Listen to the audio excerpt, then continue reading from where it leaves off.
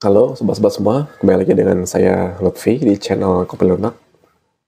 Um, pada video kali ini saya ingin uh, sedikit sharing aja ya terkait dengan tips uh, memulai usaha atau bisnis. Uh, kebetulan saya memang uh, mulai menggeluti dunia entrepreneur gitu ya atau bisnis baru beberapa bulan berjalan itu bisnis es kopi susu kekinian uh, di beberapa video sebelumnya juga saya sudah tunjukkan ya uh, seperti apa kiosnya, apa saja menunya, uh, apa aja produk yang dijual di dalamnya dan sebagainya ya. Uh, mungkin video kali ini saya ingin sedikit sharing aja sih uh, terkait dengan tips ya uh, memulai bisnis atau usaha gitu uh, di tengah uh, kondisi saat ini ya. Mungkin sebagian dari kawan-kawan uh, ada yang uh, dirumahkan atau mungkin kesulitan dalam mencari pekerjaan gitu. Uh, ya dengan alasan-alasan nggak cuma itu ya mungkin ada hal yang lain gitu. Atau memang uh, berniat untuk memutuskan sebagai uh, pengusaha atau pelaku bisnis itu uh, intinya yang penting segala sesuatu yang kita lakukan uh, adalah suatu pekerjaan atau usaha yang halal ya tentunya itu jadi uh, yang pertama banget ya kalau bisa saya sharing gitu. Untuk mulai usaha bisnis itu yang pertama itu kita perlu untuk uh, memiliki keinginan yang uh, atau niat yang kuat gitu. Gitu tekad yang bulat. Ketika ingin memulai bisnis pastikan kita sudah memiliki keinginan yang kuat. Kita juga mau belajar dan mendengarkan uh, nasihat ataupun tutorial dari eh, orang-orang uh, yang mungkin sudah memulai bisnis ya. Uh, bisnis itu sendiri kan harus ada ilmunya ya, jadi nggak sembarangan kita memulai. Uh, kita setidaknya memiliki uh, rencana ke depan gitu. Selain daripada tadi ya kita punya tekad yang bulat, terus juga adanya modal, pastinya ada support dari orang-orang sekitar juga gitu kan. Uh, tentunya juga kita harus lihat ya bisnis sekarang itu uh, arahnya ke mana gitu. Di era digitalisasi sekarang tentunya uh, banyak peluang untuk uh, apa namanya kita mau jualan di rumah bisa atau mungkin nyewa tempat bisa gitu. Layanan transportasi online itu kayak Gojek, Grab itu bisa membantu sekali untuk kita uh, jualan ya di mana pun, kapan pun gitu bahkan di rumah pun uh, sobat bisa tetap menghasilkan uang ya. Yang penting uh, kita tahu ilmunya bagaimana cara menjualnya dan uh, menguasai uh, mengoptimalisasi dari aplikasi itu sendiri itu oke paling yang pertama ya yang pertama banget memang uh, kita harus menguatkan niat kita tekad kita harus bulat dalam uh, apa memulai usaha atau bisnis itu tadi ya. Gitu. Kemudian ya belajar ilmunya, bagaimana cara memulainya, uh, apa yang harus dilakukan itu. Itu sobat mungkin ya bisa cari referensi lah dari uh, situs atau YouTube ya. Sekarang mungkin banyak orang banyak belajar cara membuat makanan, minuman atau tutorial segala macam dari YouTube gitu. Itu bisa diperdayakan atau maksudnya kita manfaatkan untuk kita bisa mendapatkan inspirasi kita mau usaha apa gitu jadi uh, setelah kita sudah bersungguh-sungguh, sudah mau untuk mulai usaha, um, modal juga ya bisa dibilang pas-pasan juga nggak apa-apa itu yang penting uh, apa namanya kita jelas mau produk kita produk apa terus uh, bagaimana produksinya dan bagaimana cara menjualnya itu tadi. Gitu. Kalau saya sih terus terang ya lebih lebih memilih uh, kopi susu kekinian gitu. Karena jujur saya uh, suka juga ngopi gitu. Dan uh, sama istri saya kan juga suka uh, jajan gitu kan mau beli uh, apa minuman apa nih gitu. Kan sekarang lagi trennya macam-macam tuh. Ada kopi susu ada uh, apa namanya minuman bubble atau boba gitu atau uh, minuman-minuman lainnya ya yang lagi ngetren sekarang gitu. Jenis makanan minuman yang sobat bisa pilih gitu sesuaikan juga dengan uh, minat kita gitu. Sukanya apa nih? Hobinya apa? Mungkin ada orang yang hobinya uh, apa? Kegemarannya tuh ngopi gitu. Yang mungkin seperti salah satunya saya gitu. Karena saya juga suka suka juga ngopi meskipun nggak sering gitu. Dari situ kita bisa mulai uh, apa namanya uh, pelajari tuh cara membuat kopi yang enak gimana cara memilih biji kopi yang enak terus cara menyeduhnya dengan berbagai metode ya banyak sekali emang cara apa namanya manual brew ataupun menggunakan alat itu. Uh, mesin maksudnya uh, intinya uh, kita lakukan apa yang kita sukai gitu. Jadi itu akan memudahkan kita di dalam menjalaninya gitu. dengan semangat dengan penuh apa namanya uh, punya sesuatu yang mendorong kita untuk terus uh, mau dan apa namanya uh, belajar dan sungguh-sungguh di dalamnya gitu. Jadi uh, dimulai dari apa yang kita suka gitu. Misalkan kayak saya, saya kayak saya sendiri es kopi susu kekinian, kemudian ya pelajari tuh cara membuatnya segala macam, pemilihan biji kopi segala macam, alat-alat kopinya, cara cara nyeduhnya yang enak gimana gitu kan. Terus uh, bahan-bahannya apa aja? Kalau kopi susu tentunya nanti ada susunya uh, yang kita pakai berapa gramnya atau uh, gula arennya atau uh, creamernya itu bisa dipelajari ya di YouTube banyak referensi-referensi uh, terkait uh, resep ataupun gramasi formula kopi susu kekinian gitu. Mulai dari apa yang kita suka apa yang kita uh, apa namanya uh, senangi gitu. Jadi dari situ kita jadi semangat gitu.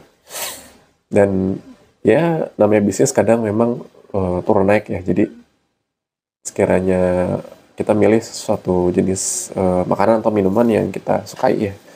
Yang kita konsumsi juga gitu. Jadi ya mungkin ada kalanya uh, penjualan naik atau turun.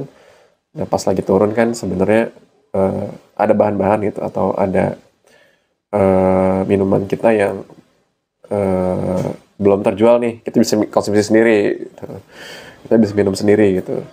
Tanpa perlu khawatir uh, apa namanya uh, bakal kebuang atau emang uh, mubazir jatuhnya. Kita tetap bisa konsumsi sendiri gitu. Seandainya uh, penjualan lagi turun gitu. Intinya tetap dimanfaatkan atau kita sedekahkan itu kan lebih bagus lagi.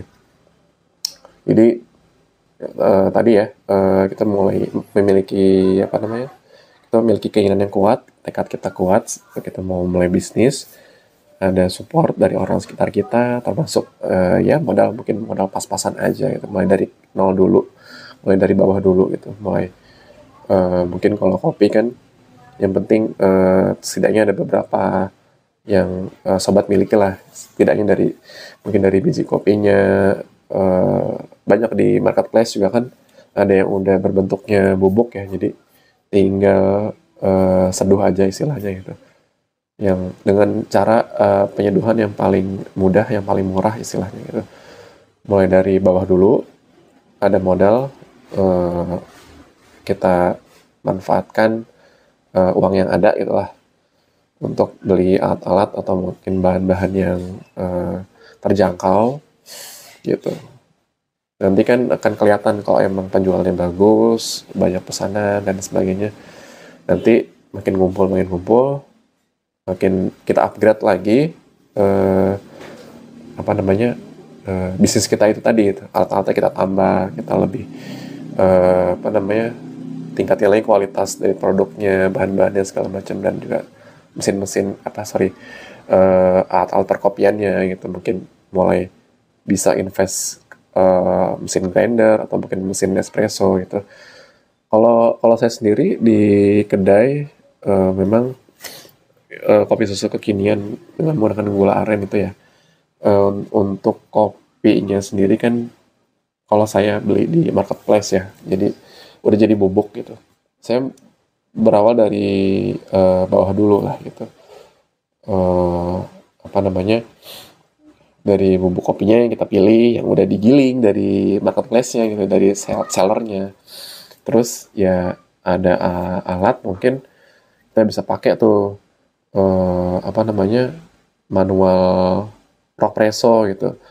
Itu memang sih uh, dari sisi harga uh, cukup uh, lumayan gitu. Cuma setidaknya kita pakai alat-alat yang sorry maksudnya kita menggunakan uh, tools atau uh, alat yang uh, hasilnya akan memuaskan gitu dari sisi rasa dari sisi uh, apa namanya uh, kualitas dari si kopinya gitu. Beda halnya kalau memang sobat punya budget yang lebih bisa langsung beli mesin espresso yang canggih gitu kan. Atau mungkin kalau memang mau lebih murah bisa menggunakan metode kayak mungkin kopi tubruk atau apa uh, cold brew ya itu tinggal tinggal biji kopinya dengan gilingan tertentu. Kalau nggak salah gilingan uh, medium ya. Itu di di apa namanya? Diseduh dengan air dingin gitu kan. Dengan gramasi atau perbandingan yang emang sudah sobat tetapkan lalu ditaruh di kulkas itu bisa di, disimpan selama sekira 12 jam ya. Itu bisa digunakan juga untuk uh, kopi susu ya. Cuma kalau saat ini saya menggunakan uh, uh, rock presso ya, uh, mesin espresso manual gitu untuk membuatan uh, bahan dasar kopinya sendiri gitu. Nanti akan dicampur dengan susu, dicampur dengan gula aren dan juga uh, uh, ada susu evaporasi atau menggunakan creamer ya. Oke. Okay. Ya tentu tadi uh, alat ya soal alat kita pakai yang sederhana dulu aja yang penting uh, sobat apa namanya memanfaatkan apa yang ada maksimalkan apa yang sobat miliki dari alat-alat yang sederhana bahan-bahan yang terjangkau dan uh, apa namanya setelah itu tinggal uh, kita pilih ya kita mau jualannya lewat mana nih. Bisa nyewa tempat kalau memang ada tempat atau di rumah juga bisa untuk berjualan gitu kan. Nyewa tempat atau uh, apa namanya berpartner dengan uh, kawan atau saudara itu yang punya tempat kita kerjasama lah gitu. Ya ada bagi hasilnya bisa juga kayak gitu. Jadi selain kita udah punya produk yang emang uh, kita percaya diri dengan produk kita kita bisa mulai jualan nih. Tinggal nanti mikirin uh, jualannya mau seperti apa. Apakah di di rumah sendiri apa nyewa tempat ataupun uh, via online gitu kan bisa dimanfaatkan dari uh, era digital sekarang ya gitu. Gitu. Terus uh, ya udah tinggal kalau udah berbicara tahap uh, penjualan berarti kan uh, nanti uh, misalkan nih misalkan sobat uh, nyewa tempat gitu. Berarti tempat itu uh, kita lihat lokasinya seperti apa gitu apakah lingkungan yang memang uh, orang banyak ngopi di situ ya? Kayak misalkan uh, area perkantoran atau mungkin uh, kawasan pabrik gitu. Atau mungkin uh, di lingkungan kampus bisa juga kan pemilihan-pemilihan tempat itu juga penting gitu. Karena dari situlah nanti kita akan lihat uh, apa calon konsumennya uh, seberapa banyak gitu. Tentunya yang yang sesuai dengan uh, produk yang kita jual yaitu kopi, gitu kan lebih susu maksudnya. Jadi uh, pemilihan tempat juga salah satu uh, elemen yang penting ya. Tempatnya harus strategis dan uh, ya memang kalau baru mulai ya mungkin tempatnya nggak perlu yang gede-gede amat itu. Cukup uh, apa namanya ukurannya ya mungkin kalau kios kedai uh, Rekafen itu kan sekitar 2,5 meter ya 2,5 meter panjang panjang lebarnya 2,5 meter itu lebih kurang. Jadi memang nggak terlalu luas nggak ada kamar mandi atau WC nya juga tapi di situ kita bisa taruh barang ya kayak freezer. Uh, mau nggak mau kita akan uh, nempatin alat-alat lainnya juga di untuk uh, sebagai storage atau uh, tempat kita menyimpan bahan-bahan gitu. Ya jadi selain alat kopi ya mungkin invest juga di alat penyimpanannya. Terus mungkin kayak toples-toples kecil atau mungkin uh, scale-nya alat timbangan digital gitu kan. Atau segala macam kayak milk jug cup segala macam juga sobat perlu uh, perhatikan ya untuk dirinci. Kira-kira uh, sesuai dengan sanggupan kita gitu. Seminimal mungkin gak apa-apa. Namanya juga baru mulai usaha kan. Misalkan ya tadi udah nyewa tempat gitu. Tinggal tempatnya itu nanti eh, apa namanya eh, kita bisa mulai jualan di situ gitu. Mau mungkin tanya sendiri yang jaga atau mungkin ya mungkin meng hire uh, karyawan itu itu dikembalikan lagi ke ke diri kita gitu. Maunya seperti apa gitu. Kalau memang kitanya ada suatu aktivitas yang lain atau pekerjaan yang lain gitu mungkin kita bisa percayakan ke karyawan atau orang lain gitu itu bisa gitu. Tinggal nanti kesepakatannya seperti apa untuk salarynya atau uh, apa namanya uh, gaji dia berapa gitu. Dalam dalam sehari mau uh, berapa atau mungkin sebulan gitu. Itu disepakati aja gitu. Jadi kalau udah ada tempat tinggal uh, fokus uh, di situ.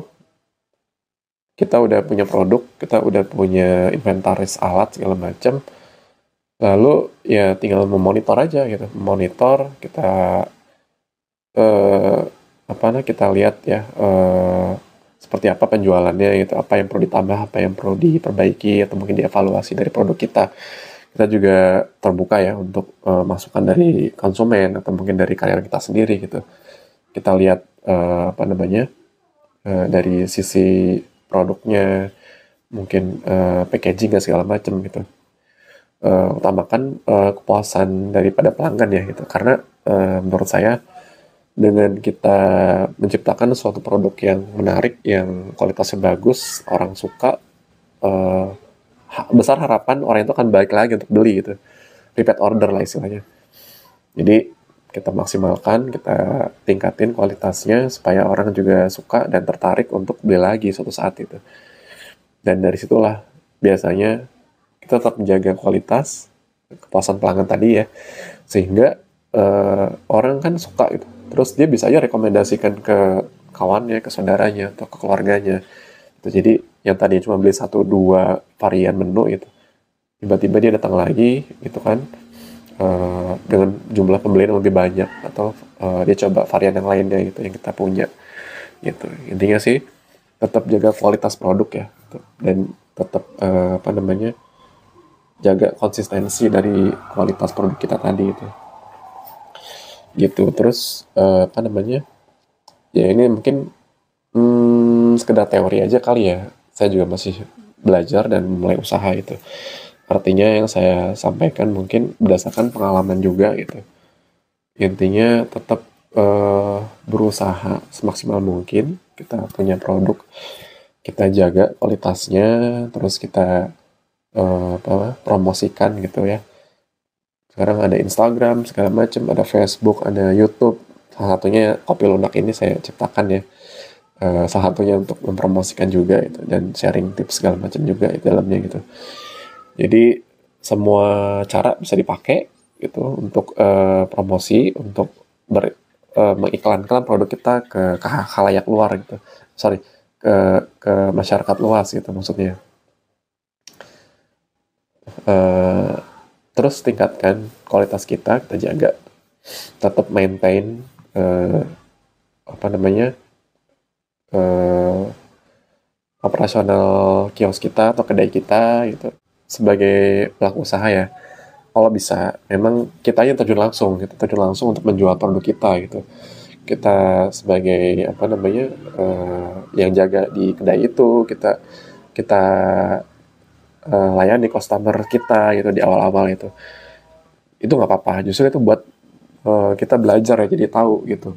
Gimana sih rasanya sebagai uh, orang yang melayani customer atau sebagai penjaga dari kedai kita itu itu jadi kita tahu apa-apa yang uh, sekiranya kendala-kendala di dalamnya gitu. Jadi kita bisa juga untuk uh, apa namanya mencari solusinya atau kita bisa uh, kasih tahu kalau kita ada nemu masalah terus uh, harusnya gimana nih gitu. Kita bisa sampaikan ke karyawan kita harusnya gini gini gini gini gitu. Jadi lebih apa namanya lebih tahu lapangan akan membantu kita untuk tetap menjaga kualitas dan uh, memuaskan konsumen gitu.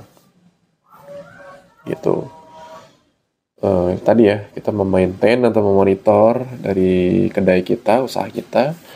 Kita coba untuk uh, apa namanya tingkatkan penjualan itu dengan cara uh, mungkin beriklan kalau emang ada budget ya.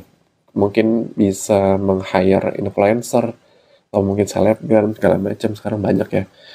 Uh, jujur aja di akun Instagram mereka fan itu banyak juga yang nawarin gitu ya DM DM gitu. Cuma saya belum pede juga karena juga baru mulai usaha gitu. Istilahnya belum ngumpul nih pundi-pundi.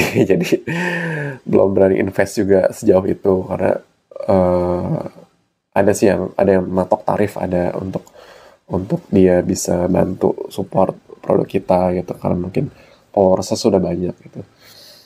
Atau mungkin ya kita bisa usaha sendiri dengan kita japri ke teman-teman ke saudara ke kawan ke keluarga gitu.